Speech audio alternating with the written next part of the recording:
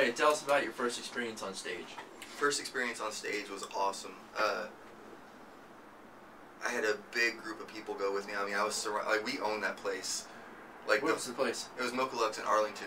The whole front area was just packed with my friends.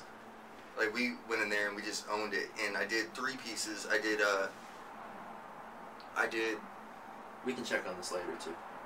I don't have it on film. That was before I got the camera, but right.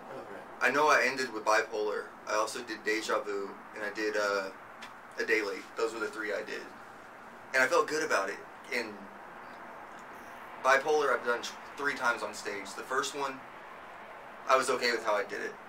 The second one, I got cocky, and I just went up there and thought I'd, you know, show them up. And I'm a smoker, as y'all can tell, and I was winded halfway through, and I just I butchered it. And then the third one, which is the one that's on my YouTube page, I feel like I nailed it. But that first night was awesome because afterwards we all went out and had drinks, and it was just all my friends coming out to support me doing this for the first time.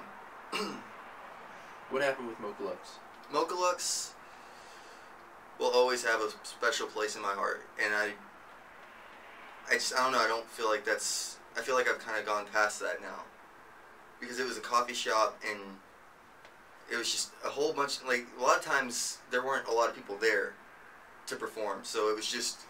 It became a core group of regulars, and we've all heard each other's stuff, and it was what was funny about it though is since a lot of people didn't go there for that reason. They just get, went there to have coffee. They you just look on in the crowd and you just see these horrified gasps at the stuff we're saying on stage, but they can't say anything to us because we have a microphone, and that means we're allowed to say whatever we want, which is what I love about open mic nights. No matter how bad you are or whatever, no matter what you're saying, they can't do a damn thing because you have a microphone. And uh, I was always so like, there's a big difference between doing it in a bar and a coffee house because in a coffee house you're all jacked up on caffeine, so I was all shaking and stuff and nervous. But that's why I like doing it in bars because you get a little courage in you, liquid courage, and then loosens you up a lot more. And What's the new place you go to? new place I go to is Tucker's Tucker's Blues, and it's it's become my home away from home. Like the people there are so accepting.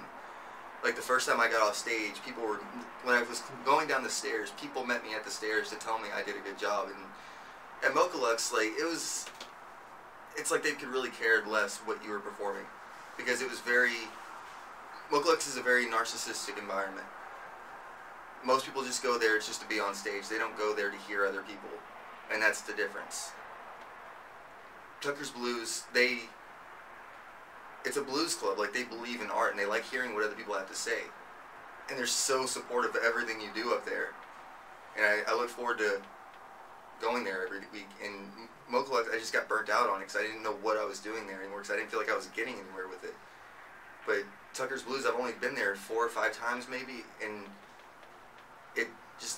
the reception I get from there is so much more heartfelt than anything I got at the other place. It was instead of hey, hey, good job. The owner, Diane, she actually comes up and she tells me lines that stick out to her, and she remembers my work, even whenever I hadn't done it in a couple of weeks or a month. She still remembers it, and that's that's what really sticks out with me. She has a passion for what she does. What would you say was the most crushing uh, event of your literary aspirations?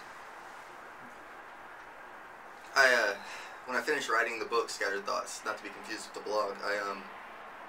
I had a big head because I wrote a book. You know, look at me, I wrote a book. Did you write a book? No, you write a fucking book. I wrote a book, so it made me special. And then I went to this writers convention, and the only reason I really went there was because there was an age, there were agents there. So if you paid the hundred fifty dollars to get in, which I'm going to pay you back, Amber. By the way, if you ever see this, I'm going to pay you back. Uh,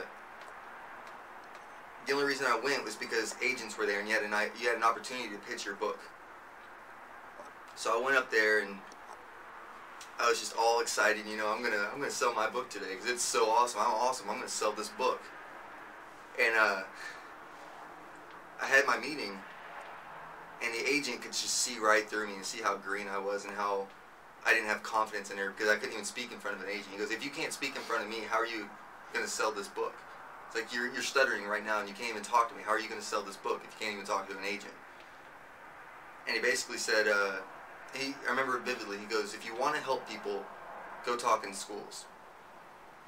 Don't sell a book. Go talk in schools. If you want to help people, that's what you need to go do. And I thought about that. Like on the way home, I was so angry. I was pissed. And I was like, I'm. He doesn't know what he's talking about and all this other stuff. And fuck agents. I'm gonna do it on my own. And uh, after a while, it kind of sank in that he was right because I didn't know what I was doing. And as far as speaking in schools, a lot of my subject matter I don't really think would go over all well with the teachers.